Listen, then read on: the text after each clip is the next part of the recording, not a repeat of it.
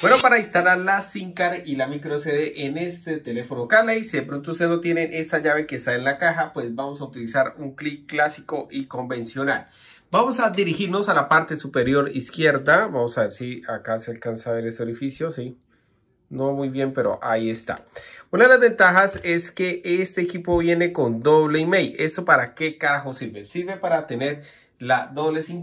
Una de las recomendaciones que yo les doy es que primero instalen la memoria micro SD, aunque si usted me lo pregunta no creo que haya necesidad, son 256 gigas que tiene esta versión, eso es demasiado y tenga muy en cuenta como la diagonal que se forma. Ahí está la primera, se va a el enfoque por acá y acá viene la segunda, entonces difícil eh, teniendo la cámara acá al frente, entonces eh, ahí ya queda instalada, ahí están las tres ranuras totalmente copadas y lo que hago es colocarlo de una manera muy suave para que ingrese. Entonces ahí ya el equipo empezó a hacer la lectura si se dan cuenta de las dos SIM card y la micro SD de una manera muy fácil y sencilla en este caso